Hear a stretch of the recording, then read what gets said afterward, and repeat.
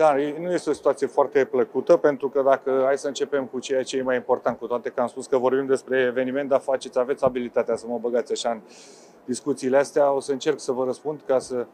fiu politicos, cu toate că nu vreau încă să vorbesc despre ce urmează, fiindcă va fi conferința specifică jocului, dar mărturisesc faptul că da, este un subiect sensibil acesta cu portarii, pentru că dacă o luăm cu începutul, portarul din ultima perioadă în spețeniță, care a fost în multe momente declarat chiar de dumneavoastră, de media și nu numai, omul anumitor jocuri a avut um, evoluții foarte bune, foarte apreciate. Traversează o perioadă nu foarte bună lui. Avem și alți băieți care sunt cu probleme. Mărturisesc că după jocul Inter Sassuolo am povestit un pic cu Radu și nu era foarte fericit, cu toate că încrezător și eu spun că este un portar cu foarte multe calități care poate să asigure în viitor uh, uh, în poarta echipei naționale, dar uh, după cum știți, nu joacă aproape deloc.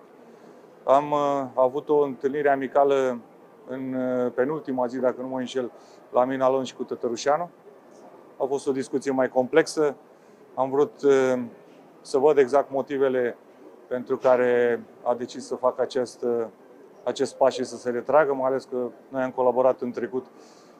la Steaua și aveam o relație și un canal de discuții deschis, am înțeles poziția lui. Chiar dacă vreau să păstrez intimă discuția, pot să spun ca și o concluzie că dacă va veni un joc foarte important în care vom avea probleme mari la nivel de portari, 3, 4 dintre cei care sunt monitorizați și care urmărim, care fac parte în viziunea noastră acum din nucleul principal, vor fi cu probleme, atunci e posibil ca să primim de la tătă o mână de ajutor. A rămas că mai vorbim dacă un astfel de moment va veni. Dar e adevărat că valul 2 sunt portari foarte tineri din competiția noastră care au și anumite probleme, cum e cazul Vlad în ultimele zile, care am văzut că nu mai se regăsește nici în lot pentru jocurile oficiale FCSB. Deci e un subiect sensibil pe care încercăm să-l gestionăm cum putem de bine, dar din păcate sunt multe lucruri care nu sunt la îndemâna noastră, stafului tehnic. Mi-ar fi plăcut mult mai tare dacă aș fi văzut uh, pe cei doi pe teren mai mult timp uh, Alex și l-aș fi văzut măcar un pic și pe Moru. Din păcate, Moruțan și el nu traversează o perioadă foarte bună lui în sensul în care nu joacă. Au fost meciuri în care nu s-a, nu s-a regăsit nici în lot. Mă bucur măcar că uh, Cicăldău a intrat puțin și a simțit ceea ce înseamnă atmosfera unui joc de nivelul ăsta împotriva unui adversar de calibru Barcelonei pe un astfel de teren, pentru că pe un astfel de stadion, pentru că astea sunt momente din care cu siguranță în viitor se va inspira. Cred că asta a fost uh, regulă în altă parte, la alți selecționeri, nu la mine. Duceți-vă mai departe, la tatăl meu, poate o regăsiți, eu nu am spus asta. Eu am spus că îmi doresc că jucătorii să, care sunt uh, în uh, vizorul nostru să joace, să aibă continuitate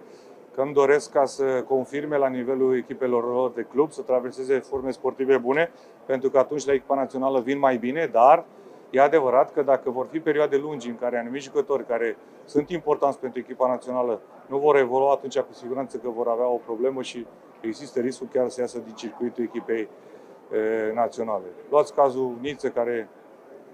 e, nu traversează o perioadă foarte bună, dar eu cred că are nevoie de o mână de ajutor din partea mea și echipei naționale, pentru că el a dat pentru echipa națională și mai are multe de dat. Așadar, întindem noi mâna acum ca să ne-o dea el înapoi mai târziu. E posibil ca următoarea convocare să-l vedeți chiar dacă el vine după o perioadă mai puțin fastă.